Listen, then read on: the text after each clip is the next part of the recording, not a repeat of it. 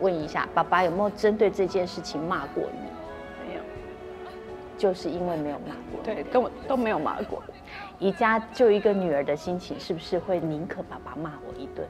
嗯，会，因为我觉得有时候沉默是一个最，应该说最温柔的惩罚。他其实看样子好像没说什么，可是我觉得那那种感觉会更更可怕。